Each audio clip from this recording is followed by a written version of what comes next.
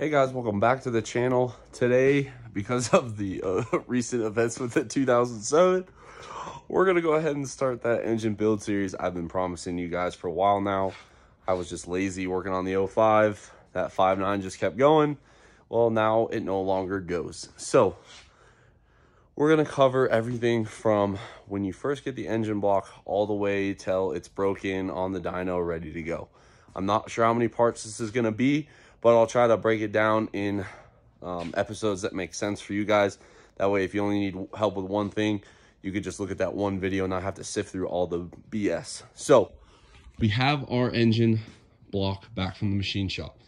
Now, there's a lot of different ways to go about this. Some guys look at their bill and see the engine machine shop clean the block and they move on. Some guys like me like to double check. So, what we're going to be doing is prepping this block to be built. Now, as you guys can see, this one's a little crusty, not too, too bad. Um,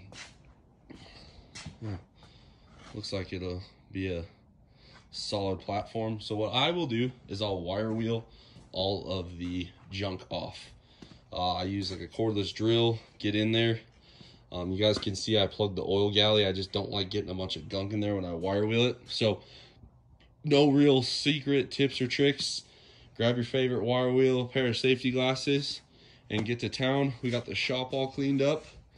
Um, and then we're gonna go ahead and go over how to clean this thing once we get it wire wheeled.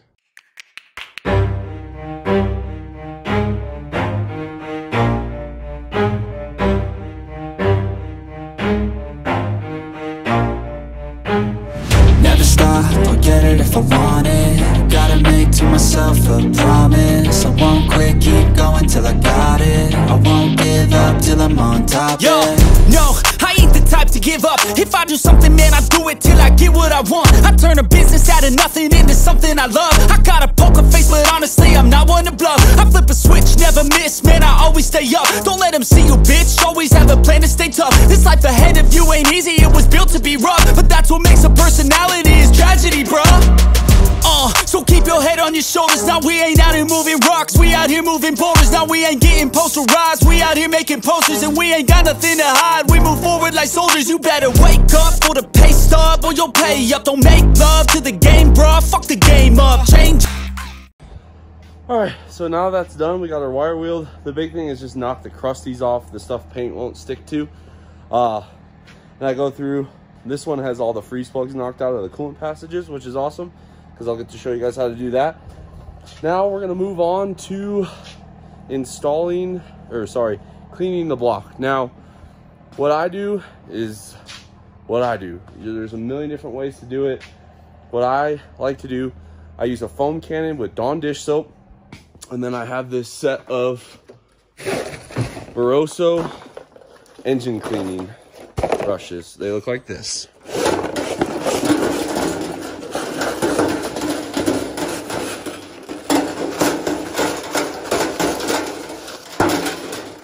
So, now you don't use all these, but you know, it came as a set. And then I run a pressure washer with that foam cannon right there, and I just fill up the foam cannon with hot water and Dawn dish soap. And then I start spraying the block down. Now, I'm gonna take this outside, so visibility is gonna be a little limited. I apologize. I'm gonna cover it right now. Obviously, you wanna clean the bores. You wanna make sure these oil feed holes here that feed the rockers are clear. The push rod holes, the cooling system, you just wanna make sure you get all the junk out of it. It's not, I would say, dire. Then you have this oil galley and this oil galley. These are very important. And then on the front, we have the oil pump, the cam tunnel, and that oil galley right there. Those are very important.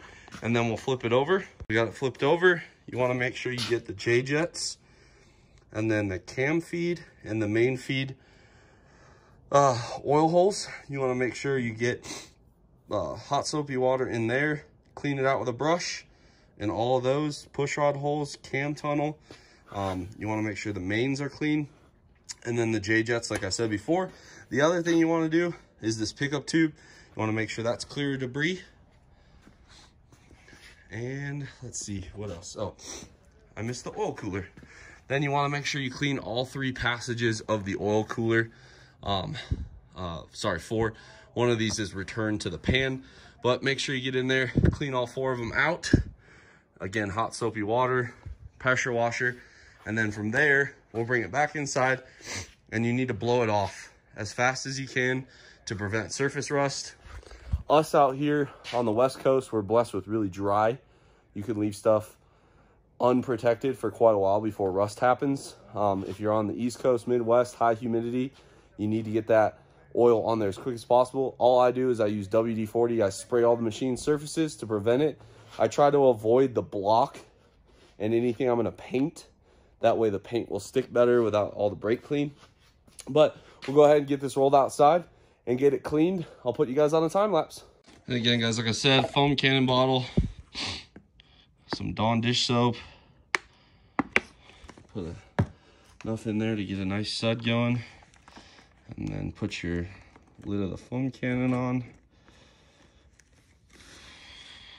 Make sure you have a broken foam cannon because you have the best friends ever that just break your I don't even tell you.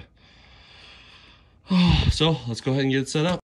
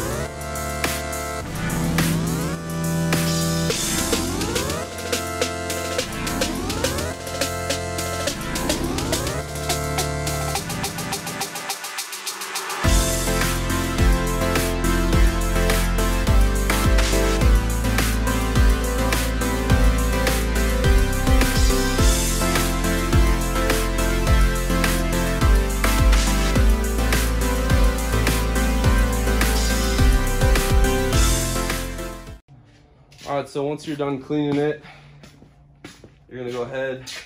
We, you guys saw us clean it with the bore brushes, with the foam cannon. Then we sprayed it off um, with regular water. Then I blew it out. That spray I was using is just brake clean. It helps disperse the water. And then all I do is just some good old fashioned WD. The inside of the block really doesn't matter too much. So I will generally lube it pretty well mains, push rod holes, and then I don't do the oil pan um, rail. I'll do the oil pump, and then I'll do the cam tunnel. Get you guys one of these ones with the flexi straws and kind of get in there. from both sides. Make sure because there's one on this one. One of them has a cam journal bearing, and then Marky, let me flip this. Hmm. Oh wait, over? Yeah. Keep going. Keep going. Guys, I just totally messed up my shoulder because the pin fell out on the engine stand. Um, and then I will do quite a bit on the deck here because you definitely don't want that rusting. And then I'll spray inside the cylinders. Want to make sure you protect that bore finish. That way your rings are going to seat nicely.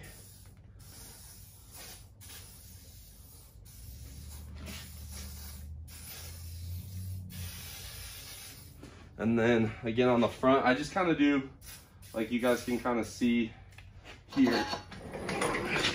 You can see where the, uh,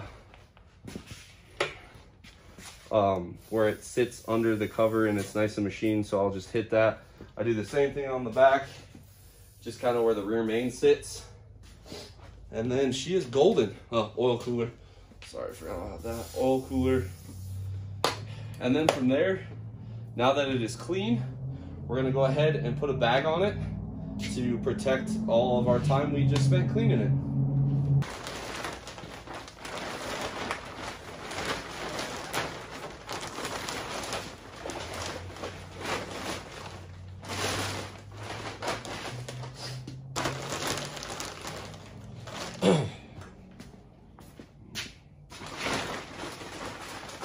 All right, guys, so that's gonna wrap up today. Um, kind of just messed up my shoulder when the engine stand almost took a dive, so kind of not feeling it anymore. Um, but that's how we clean the engine block. There's no secrets there. I'm sure there's machines and stuff, and there's a million ways to do this. If the way that you do it has not had a failure, go for it. Um, I'm always down for new ideas. If you guys have a better way, better brushes or whatever, drop a comment. I'm always down to adapt to a different thing. Um, the big thing, just make sure you guys keep it in the bag. Once it's clean, bag it every time. Um, this shop here is a multi-use shop. Maya and I both use it, so I always, once I clean something, I bag it up really good. I don't want dirt getting in there. You can zip tie the edge of it.